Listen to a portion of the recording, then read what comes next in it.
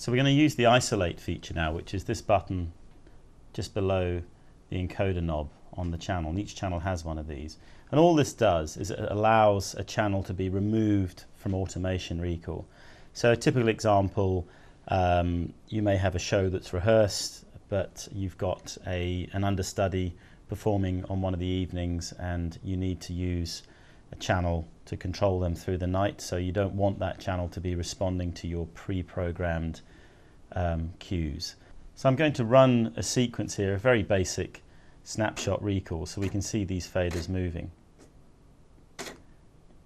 like so. I'm then going to scroll back up to the top of the cue list. And now let's assume that this channel here is going to be isolated tonight from the show recall. So again, I go up to the top of the channel, press the isolate button. The channel then glows in this purple color here.